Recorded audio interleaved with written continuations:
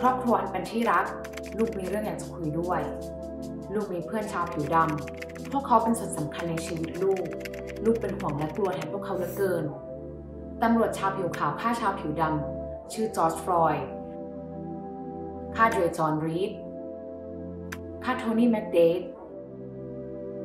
ฆ่าเบรียนาเทเลอร์ฆ่าอามาดอับเบอรี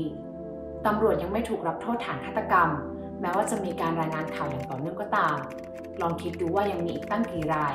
ที่ไม่ถูกเปิดเผยให้สังคมได้รับรู้ นี่คือความจริงที่แสนโหดร้าย ที่เพื่อนชาวผิวดำต้องเผชิญอยู่ทุกวัน ลูกกำลังบอกสิ่งเหล่านี้ด้วยความรัก เพราะอยากให้ทุกคนรวมถึงตัวลูกเอง ร่วมกันทำสังคมให้ดีขึ้น โดยส่วนใหญ่แล้ว หากเราถูกตำรวจจับ เราไม่ได้กลัวว่าเราจะถูกทำร้ายถึงตาย แต่นั่นมันตรงกันข้ามกับสิ่งที่เพื่อนชาวผิวดำรู้สึก พวกเขาถูกข่มขู่ถูกทำร้ายมาตลอด และการกดขี่ทารุณกรรมที่เขาต้องเจอ มันไม่เคยจบสิ้น เพียงแต่เปลี่ยนรูปแบบไปเท่านั้นเอง ลูกเข้าใจว่าทุกคนกลัวกับสถานการณ์จุรกรรมทำร้ายเข้าของที่เกิดขึ้น แต่ลองคิดดูว่ามันน่าเจ็บปวดแค่ไหน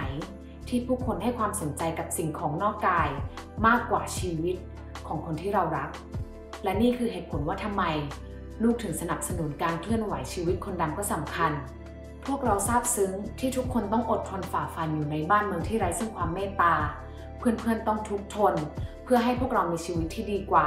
แต่ประสบการณ์อันยากลำบากเหล่านี้ทำให้เห็นเลยว่า เราทุกคนต่างมีส่วนร่วมด้วยกันทั้งสิ้น เราไม่สามารถรู้สึกปลอดภัยได้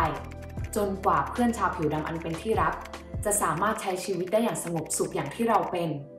โลกที่น่าอยู่ คือที่ที่ทุกคนสามารถใช้ชีวิตอยู่ได้โดยปราศจากความกลัว และนี่คืออนาคตที่ลูกๆต้องการ